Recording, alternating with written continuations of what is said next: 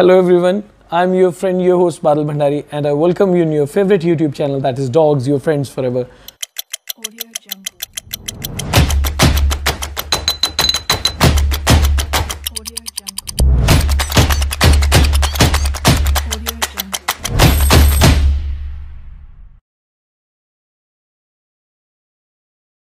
Dear friends thank you so much for your love for your support आपके प्यार के लिए आपकी ब्लेसिंग्स के लिए आपके टाइम के लिए हमेशा आता हूँ, नया टॉपिक लेके मेरी कोशिश हमेशा यही होती है कि आपके साथ में आके अपनी नॉलेज शेयर करूँ, जो भी कुछ मैंने इस लाइफ में आके सीखा है। साई ने जो ड्यूटी लगा रखी है, उसको निभाने की कोशिश करूँ। मेरे लिए फिजिबल नहीं होता कि सब लोगों से मैं बात करूँ। बहुत सारी कॉल्स आती हैं, बहुत सारे लोगों से बात होती है। जिन दोस्तों से, जिन भाइयों से, जिनसे भी बात होती है, वो ज़्यादातर लोग वो कमेंट करके नहीं बताते कि हमारी बादल से बात हुई और बादल ने कोई हमारी हेल्प करी या नहीं करी। Anyways that is their part आज मैं बहुत से भी ज़्यादा इम्पोर्टेंट टॉपिक लेके आया हूँ और वो टॉपिक है एक हर उस इंसान के बारे में जो डॉग रखता है और हर उस डॉग के बारे में जो नई फैमिली में जाता है।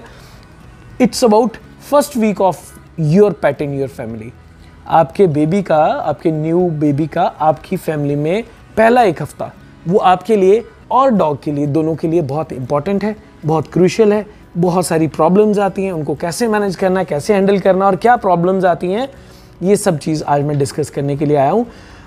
अगर आप इस चीज़ को समझना चाहते हैं, देखना चाहते हैं, आप नया डॉग लेके आना चाहते हैं या आपके पास में बेबी है और आप इस तरह की प्रॉब्लम से गुजर रहे हैं, इस तो इस वीडियो का एंड तक ज़रूर देखें। इसमें मैं ये भी बताने वाला हूँ इस वीडियो में कि बेबी को फ़ीड की, कैसे देनी है मेडिसिन कैसे फ़ीड करनी है स्पेशली क्योंकि वो बहुत बड़ा इशू होता है। आप भी नए होते हैं और बच्चा भी नया होता है। आगे बढ़ते हैं। जब हमने बेबी लेके आना होता है हमारे घर में तो बहुत बड़ी एक्साइटमेंट होती है, बहुत ज़्यादा खुशी होती है। हम लोग बहुत दिन पहले से तैयारी करनी शुरू हो जाते हैं। समटाइम्स उसके लिए कुछ शॉपिंग करके लाते हैं, कुछ बेड लेके आते हैं, कुछ टॉयज़ लाते हैं, कभी an number of things are there जो कुछ हम लेके आते हैं। जब लेके आते हैं डॉग को अपने घर में, उसके बाद में जिस वक्त आप डॉग को अपने घर में लेके आए, उसके बाद में आपकी जो लाइफ है, वो एकदम से चेंज होती है। बिकॉज़ अर्लियर अगर आपका एक्सपीरियंस नहीं है डॉग का तो आपके पास में पहले इस तरह की कोई रिस्पॉन्सिबिलिटी नहीं थी जिसको आपको मैनेज करना था। अब आपके पास में एक रिस्पॉन्सिबिलिटी आ रही है। लेकिन कुछ लोग शुरू में उस चीज़ का स्ट्रेस ले जाते हैं। कुछ लोग परेशान हो जाते हैं इस चीज़ को लेके कि उनका जो बेबी है, वो whether they are able to manage their kid और नॉट वो अच्छे से इसे मैनेज कर रहे हैं या नहीं? क्या वो एक अच्छे पेट ऑनर बन रहे हैं या नहीं? या क्या उनका डॉग अच्छा है या नहीं? बहुत सारे क्वेश्चंस होते हैं, बहुत सारे आंसर्स होते हैं। हर किसी ने अपना एक्सपीरियंस शेयर करना है, जो मैं आपके साथ शेयर कर रहा हूँ ऑफकोर्स जो मैंने सीखा है लाइफ में, मैं वही शेयर कर रहा हूँ। बहुत बड़ी प्रॉब्लम आती है, हमारा बच्चा जो है, वो ऑफ़ फ़ीड हो जाता है, बहुत बड़ी ऐसी प्रॉब्लम आती है। बिकॉज़ जब हम बेबी लेके आते हैं, किसी ब्रीडर से, किसी भी एक्सपर्ट पर्सन से या डॉक्टर से तो वो उसे बच्चे को क्या दे रहे हैं, वो अपने मदर से सेपरेट हो रहा है उस जब वो अपनी मदर से सेपरेट होता है, बच्चा अपने भाई बहनों से सेपरेट होता है तो उसे एक सेपरेशन एनजाइटी भी होती है। थोड़ा सा वो सिकनेस भी फील करता है उस चीज़ की, कि पहले मेरा परिवार था साथ में, मेरी मम्मा मुझे केयर करती थी, वो मुझे प्यार करती थी लिख करती थी, लेकिन अब वो लोग कहाँ गए सभी के सभी? नया माहौल होता है, नई फैमिली होती है, आप सब नए हैं उस बच्चे के लिए। आप इस चीज़ को समझिए, आप सबने सिर्फ़ एक ही बच्चे के साथ में अपने जो बिहेवियर है या जो अपनी अंडरस्टैंडिंग है, वो बनानी है। लेकिन जो आपका पेट है, उसको आपके पूरी फैमिली के साथ में वो अंडरस्टैंडिंग और बिहेवियर बनाना है। इस चीज़ को हमेशा याद रखिएगा कि जब हम बेबी लेके आते हैं, वो इस दुनिया में नया आया है। अगर हम डेढ़ महीने का या दो महीने का भी बेबी लेके आते हैं, वो बहुत छोटा होता है। डेढ़ दो महीना मतलब I am not talking about कि दो, बहुत छोटा सा बच्चा होगा, लेकिन डेढ़ दो महीना अपनी मदर से सेपरेट करने के लिए कोई बहुत बड़ी एज नहीं होती। एनीवेज तो वो बच्चे को, वो अपने भाई बहनों से अलग होने का भी दुख होता है। नया माहौल होगा, नई जगह होगी, नया एटमोसफेयर होगा और बहुत बारी हम ये गलती करते हैं कि हम अपने डॉग को नई फ़ीड देना शुरू कर देते हैं। कोई नई फ़ीड शुरू कर देते हैं। जो बच्चा वो पहले खाता आया है it is our moral duty जो खरीद रहे हैं उनकी भी और जो डॉग बेच रहे हैं उनकी भी कि हम उस बच्चे को पहले से क्या दे रहे थे। क्या वो सैरलैक पे था? क्या वो डॉग फ़ूड पे था? क्या आप उसे जो भी दे रहे थे, आपका फ़र्ज़ बनता है, वो डॉग फ़ूड भी दे रहे थे तो किस ब्रांड का दे रहे थे सो so दैट उसको टेस्ट चेंज ना हो और नए ऑनर को उस चीज़ की प्रॉब्लम ना हो। नए ऑनर के साथ में उस चीज़ की प्रॉब्लम ना हो कि हमारा बेबी जो खाना नहीं खा रहा। एक और पॉइंट क्लियर करता हूँ। जब हम नया बेबी लेके आते हैं, अक्सर उसका पेट खराब हो जाता है। अक्सर वो लूज मोशन करना शुरू हो जाता है। उसका एक बहुत बड़ा रीज़न ये रहता है कि या तो बच्चे का फ़ूड हमने एकदम से चेंज किया, वो डाइजेस्ट नहीं हो रहा, या फिर ये होता है कि वो नए माहौल में जब वो हम, वो अडेप्ट करने की कोशिश कर रहा है नोइंगली अनोइंगली विलिंगली अनविलिंगली वो आपके जूते भी पड़े हैं, चप्पल भी पड़ी है फुट मैट भी पड़ी है, उसको वो च्यू करने की कोशिश करता है। जब वो मिट्टी लगी होती है हमारी चप्पल के नीचे, हमारे शूज़ के नीचे मिट्टी लगी होती है, जब वो मिट्टी को खाएगा, चाटेगा तो डेफिनेटली उसके अंदर इन्फेक्शन जाएगी, आप इस चीज़ को समझिए। अगर उसके अंदर इन्फेक्शन जाएगी तो डेफिनेटली वो बच्चे का बीमार होना लाजमी है, उसका स्टमक अपसेट होना लाजमी है। एक और पॉइंट क्लियर करता हूँ। बहुत बड़ी प्रॉब्लम आती है, बहुत सारे लोगों को प्रॉब्लम आती है कि हमने बेबी लिया फ़र्स्ट टू डेज़ वो ठीक रहा, उसके बाद में वो बीमार हो गया। लाइफ की गारंटी दुनिया में कोई इंसान किसी की नहीं दे सकता, मेरी अपनी लाइफ की गारंटी नहीं है। आई एम नॉट श्योर कि मैं नेक्स्ट वीडियो बना भी पाऊँगा या नहीं। लेकिन जब हम बच्चों की बात करते हैं तो जब हम फ़र्स्ट टाइम बेबी लेके आए, अगर उसका पेट अपसेट होता है तो हमें ये देखना है कि उसका पेट अपसेट होने का सोर्स क्या है रीज़न क्या है उसका पेट अपसेट होने का। जो हम उसे खाना दे रहे हैं, हमारे it is our moral duty कि हम उसके बर्तन को अच्छे से धो के उसमें खाना डालें। कोई विम डिस विम वगैरह कुछ भी ले लीजिए, कोई डिसइनफेक्टेंट ले लीजिए, जिससे हम अपने बर्तन साफ़ करते हैं, उसके लिए कोई स्कॉच ब्राइट या स्टील वूल रख लीजिए फ्रेश वाटर उसे प्रोवाइड कीजिए, साफ़ सुथरी जगह दीजिए उसे, साफ़ सुथरी बेडिंग दीजिए उसे, ये सारी प्रॉब्लम्स जो है, जो टमी अपसेट होने की वो चीज़ सॉर्ट आउट हो जाएगी। एक और चीज़ जो बहुत कॉमन आती है, हम सोचते हैं, जो हम बेबी लेके आए हैं डॉक्टर ने हमें सजेस्ट कर दिया मेडिसिन देना है इसे, लेकिन हम मेडिसिन नहीं दे पाते। मेडिसिन हम बेबी को देना चाहते हैं, हम सोचते हैं, हम वो मुँह खोलेगा और वो मेडिसिन खा लेगा। लेकिन ऐसा नहीं होता क्योंकि जो मेडिसिन है ऑफकोर्स वो मेडिसिन है, उसका टेस्ट बड़ा अच्छा नहीं है। We are not offering them candies कि वो खा लेगा, वो टेस्ट डेवलप होगा। कई बार हम उसको स्नैक्स वगैरह भी नहीं देंगे जिसने पहले नहीं खाया होगा तो हो सकता है वो उसको रेलिश ना करे, पसंद ना करे। तो मेडिसिन तो मेडिसिन है। आप बेबी के लिए न्यू है और बेबी आपके लिए न्यू है तो आपको भी मेडिसिन खिलानी नहीं आएगी। लेकिन वो कैसे खिलानी चाहिए, आज मैं इस वीडियो में वो चीज़ भी एक वीडियो क्लिप डालूँगा, छोटा सा क्लिप ऐड करूँगा कि इसी बच्चे को बता के कि इसको मैं फ़ीड सप्लीमेंट दूँगा तो आपको ये चीज़ क्लियर हो जाएगा कि हमने बेबी को कैसे हैंडल करना है ताकि आपको दिक्कत ना आए। बहुत बहुत से भी ज़्यादा कॉमन प्रॉब्लम ये आती है लोगों को। मैक्सिमम लोग कॉल करके बोलते भैया दवाई नहीं खा रहा है डॉग। अगर दवाई खाएगा नहीं वो ठीक नहीं होगा चाहे उसको फीवर है चाहे उसका स्टमक अपसेट है चाहे कोई भी इशू है चाहे वो डिवर्मिंग भी करनी हो आपको उसे करना है। इसके आगे मैं एक और बात करता हूँ। जब जब आपके बेबी की आपके नए पपी का अगर कभी पेट खराब होता है आप अपने डॉक्टर को कंसल्ट कर सकते हैं। आप अपने ब्रीडर से जिनसे आपने लिया आप उनको भी पूछ सकते हैं वो भी आपकी हेल्प कर सकते हैं। या कोई ऐसा आपका फ्रेंड जिसने ऑलरेडी डॉग रखा हुआ है और जिसका अच्छा एक्सपीरियंस है। ऑफ़ कोर्स वो भी बिगनर नहीं है आपकी तरह। कोई ऐसा दोस्त जिसके पास में डॉग का एक्सपीरियंस हो, आप उससे भी हेल्प ले सकते हैं। वो जब आपको एक्सप्लेन करेंगे कि इस तरह के फेजेज़ आप उनकी लाइफ में भी आए थे तो जो आपकी टेंशन है, जो स्ट्रेस है, वो चले जाएँगे। ऑफ़ कोर्स ये जो टेंशन वाला टाइम है, ये हफ़्ता, दो हफ़्ते की बात होती है मैक्सिमम जब हमें मैनेज करने में उनको समझाने में लाइक शिशु की ट्रेनिंग पॉटी की ट्रेनिंग ये सब चीज़ करने में ज़्यादा एफर्ट करने पड़ते हैं। बाद में, उसके बाद में वो दिन कब निकल गए, आपको याद भी नहीं रहेगा। और एक जो चीज़ रहेगी, वो ये है कि आपका अनकंडीशनल आपके पेट का आपके साथ में प्यार, जो अनमैचेबल है, किसी और के साथ नहीं हो सकता।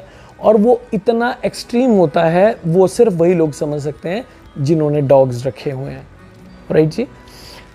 अगर आपका डॉग का पेट खराब होता है, कुछ भी आप अपने डॉक्टर से, वेट से बात करते हैं, अगर वो आपको बताते हैं, एक बहुत इंपॉर्टेंट चीज़ फोर्स मत कीजिए अगर आपका डॉग का पेट खराब है, उसे फोर्स मत कीजिए खाना खाने के लिए। उसकी जो मेडिसिन है, वो उसे प्रॉपर दीजिए और अपने वेट से पूछिए कि क्या हम उसे खाना दें या ना दें। इलेक्ट्रल ओ वगैरह आप सब चीज़ दे सकते हैं, उससे वो एनर्जी रीगेन करने में उसे हेल्प मिलेगी। इसके अलावा एक बहुत ज़्यादा प्रॉब्लम आती है वो है पपी बाइटिंग की प्रॉब्लम जब हम नया डॉग लेके आते हैं। जितनी ज़्यादा एज बढ़ती जाएगी पपी बाइटिंग की प्रॉब्लम उतनी बढ़ेगी क्योंकि बच्चे के दांत निकलना उतना ही फास्ट हो जाएँगे। दांत निकलते हैं उसकी टीथिंग होती है गम्स में मसाज के लिए वो कुछ भी च्यू करते हैं आपका हाथ भी च्यू करेंगे आपकी अ, कपड़ों को भी पकड़ने की कोशिश करेंगे कर्टन को भी पकड़ेंगे डोर्स वगैरह को भी पकड़ेंगे। जब बेबी आपके हाथ को बाइट करता है they are not having hands to hold it like इस हाथ को वो अगर होल्ड कर रहा है, और आप उसको छुड़ाने की कोशिश करेंगे बिकॉज़ इनके जो टीथ हैं दे आर लाइक नीडल्स बहुत तीखे होते हैं। छुड़ाने की कोशिश करेंगे लाइक ह्यूमन किड्स हम बच्चे ने पेन पकड़ा, हम छुड़ाने की कोशिश करेंगे, वो ग्रिप और टाइट करेगा। और ये बेबी भी ग्रिप टाइट करेगा, वो स्क्रैच लगाया, हम बोलेंगे डॉग ने बाइट कर लिया that is not biting but of course that is the reaction of our action तो वो छोटा बच्चा है, इस चीज़ को समझिए, वो छोटा बच्चा है, हमें उसे सिखाना है। हम लोग भी सब कुछ सीख के पैदा नहीं हुए थे, इस दुनिया में आके सीखे कोई जल्दी सीख जाता है, किसी को थोड़ा सा टाइम लगता है। इस चीज़ को हमेशा हमने याद रखना है, कोई जल्दी सीख जाएगा और किसी को थोड़ा सा टाइम लगेगा। लेकिन जब ये गंदा सा फ़ेज़ आपकी लाइफ से, गंदा सा फ़ेज़ नहीं होता, ये बहुत सारे लोग तो इसको बहुत ज़्यादा इंजॉय करते हैं, इस फ़ेज़ को। लेकिन मैं उनके लिए बोल रहा हूँ, जिनको थोड़ा सा स्ट्रेस लगता है डियर पर्सन को। ये जो फ़ेज़ है, ये अमेजिंग है. इट्स लाइक like आपके जो अपने बच्चे हैं, जब वो छोटे थे, या मैं अपने बच्चे की बात करूँ, वो रात को बार बार उठता था, हमें उसे बार बार देखना पड़ता था, वो फ़ेज़ जा चुका है. तब हमें लगता था, यार अच्छा अब हम वो फ़ेज़ को मिस करते हैं, यार, पहले इतनी बारी उठता था रात को. इट्स लाइक दैट ओनली आप इस चीज़ को समझिएगा. आप ये फ़ेज़ को याद करेंगे, आपको हँसी भी आएगी. फिर आप समटाइम्स जब वो 10 12 15 साल का डॉग हो जाएगा तो आप स्वीट मेमोरीज की देखेंगे, कभी फ़ोटोज़ देखेंगे वीडियोज़ देखेंगे. तो आपको हँसी भी आएगी और समटाइम्स आप इमोशनल हो जाएँगे कि ये बच्चा ऐसा था और इसको हमने ऐसे ऐसे पाला है एंड आपकी आँखों में पानी भी आ जाएगा उस चीज़ के लिए। मैं इसलिए बोल रहा हूँ बिकॉज़ मैं बहुत बारी इस फ़ेज़ से गुजर चुका हूँ। मुझे मालूम है ये सब चीज़ होती है और दीज आर कॉमन थिंग्स मैं बहुत सरल सी भाषा में, बड़ी इजी सी भाषा में समझाने की कोशिश करता हूँ ताकि एक आम आदमी को मेरी बात समझ में आए। यही प्रॉब्लम्स आती हैं, यही फ़ेज़ आते हैं। एक और पॉइंट क्लियर करता हूँ एक बहुत कॉमन प्रॉब्लम आती है। हमारा जो डॉग है, हम उसको बेड देते हैं वो अपने बेड को फाड़ना शुरू हो जाता है। अगेन इस चीज़ के लिए आप गूगल पर सर्च करेंगे तो शायद आपको उसका आंसर मिले। शायद ना मिले बट मैं आपको इसका आंसर देता हूँ। हमने जब भी बेबी को बेड प्रोवाइड करना है, कोशिश कीजिए बेड पे जब हम उसे रखें, उसके एक दो टॉयज़ रख दें, एक दो स्नैक्स रख दें और उसको पैट करें। अब जैसे ये मेरी गोदी में था और मैंने इसको सुला दिया यहाँ पे प्यार करते करते ये सो गया अभी मस्ते से। इसकी एक और चीज़ देखिए आप प्लीज़ जूम करिए, पास में आइए। आप इसकी रेस्पिरेशन देखिए कितनी फास्ट है। इसकी बहुत फास्ट है रेस्पिरेशन बिकॉज़ वो नॉर्मल चीज़ है। इसकी रेस्पिरेशन फास्ट होना नॉर्मल चीज़ है, कोई वरी की बात नहीं है बिकॉज़ इनकी हमसे सेवन टाइम्स फास्ट रेस्पिरेशन रहती है। और ये छोटे छोटे नैप लेते हैं। जब हम नया डॉग लेके आते हैं तो हम सोचते हैं, यार, ये हमारे साथ खेल क्यों नहीं रहा? ये सो क्यों रहा है? नॉर्मल चीज़ है। 21-22 घंटे बच्चा सोएगा पूरे दिन में। ये नॉर्मल चीज़ है उसके लिए। ह्यूमन बेबीज़ की तरह। थोड़ा सा खाना खाएगा, उठेगा, शुशु पॉटी करेगा, खेलेगा, मस्ती करेगा और सो जाएगा। इसके अलावा हमें एक और चीज़ कभी नहीं भूलनी, जब हम नया बेबी लेके आते हैं कि वो नया है इस दुनिया में, और हम लोग बहुत देर से हैं नो बडी इज़ परफेक्ट जैसे मैंने आपको बताया। ये हर चीज़ की ओर अट्रैक्ट होते हैं लाइक ह्यूमन किड्स जैसे इंसान का बच्चा जो है, हर चीज़ की ओर अट्रैक्ट होगा पेन की और मोबाइल की और पेन कोई चाबी पड़ी होगी उसकी और टीवी का रिमोट पड़ा होगा उसकी ओर। सेम उसी की तरह किसी का शेप अलग होगी, किसी का कलर अलग होता है, हमारे बच्चे उनकी चीज़ों की ओर अट्रैक्ट होते हैं। ऐसे ही जो जो हमारे पेट्स हैं, ये भी अट्रैक्ट होते हैं अलग अलग चीज़ों की तरह, अलग चीज़ों की तरफ़, क्योंकि इनके लिए वो सब चीज़ें नई हैं और जो नई चीज़ होगी, उसकी ओर अट्रैक्ट होंगे, उसको देखना चाहेंगे जज करना चाहेंगे कि ये क्या है। और ये जज कैसे करेंगे? ये उसको स्निफ करेंगे, सूंघेंगे, या ये उसको टंग लगा के देखेंगे समटाइम्स ये अपने बाइट से चेक करके देखेंगे हाउ हार्ड इट इज़ वो हार्ड है या सॉफ्ट है वो क्या है? बेशक वो हो सकता है हमारी किसी बहुत कीमती चीज़ को नुकसान कर दे, लेकिन वो इंटेंशनली नहीं होगा। वो अनविलिंगली होगा, ऐसा नहीं होगा अनोइंगली होगा। वो इस वजह से ऑफकोर्स थोड़ा सा आपको पेशेंस रखना पड़ेगा। आप इस चीज़ को समझिएगा। ये चीज़ हमेशा याद रखना कि ये छोटे बच्चे हैं। हमें इस फ़ेज़ से गुजरना है। थोड़ी देर का फ़ेज़ होता है, इससे हम निकल जाएँगे। बहुत बारी होता है, एक और डाउट क्लियर करता हूँ, बहुत बारी होता है, छोटा बच्चा सोया होता है और हम देखते हैं कि वो बच्चा जो है लेग्स हिला रहा है। वो बच्चा अपने फेस को हिला रहा है लिप्स हिला रहा है अपने। उसकी लेग्स हिलना शुरू हो जाती है। समटाइम्स दे स्टार्ट बीपिंग करना शुरू हो जाता है। इट इज़ नॉर्मल थिंग हम लोग सोचते हैं कि यार, इस तरह के सिम्टम आ रहे हैं तो ये डिस्टेम्पर है। हम लोग नेट पे चेक करते हैं हाँ जी, ये झटके आ रहे हैं, जी, ये हो रहा है, वो कुछ नहीं है ऐसा don't worry of course distemper होता है, लेकिन वो इस, अगर सोए हुए बच्चा ऐसा कर रहा है, उसका मतलब डिस्टेम्पर नहीं है। सोए हुए बच्चा अगर ऐसा करता है, उसका मतलब है कि वो सपने ले रहे हैं। They also dream human baby की तरह वो भी ड्रीम करते हैं। आप इसको थोड़ा सा पैट करेंगे थप थप करेंगे।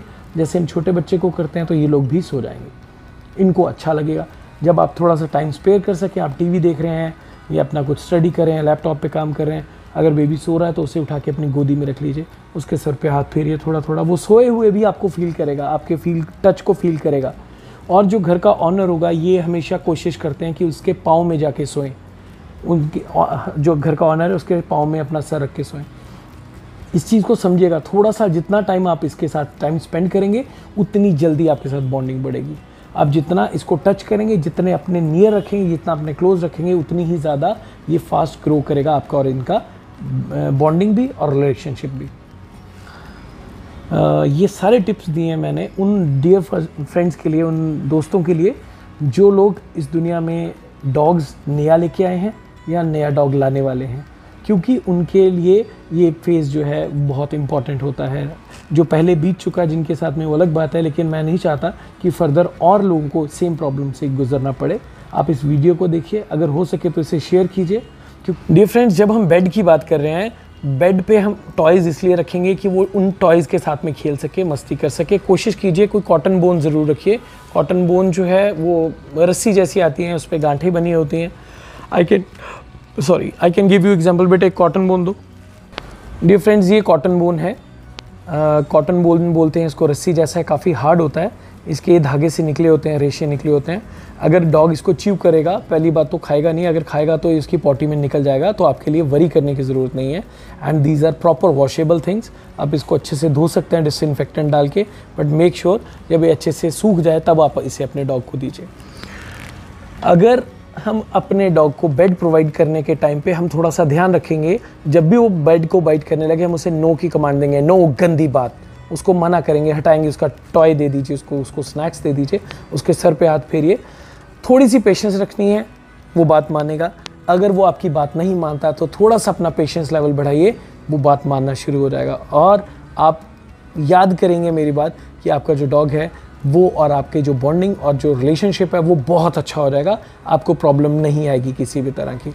ये जो बेबी मैंने मेरे पास में सोया हुआ है, बहुत हेल्दी है लॉन्ग कोटेड जर्मन शेफर्ड है।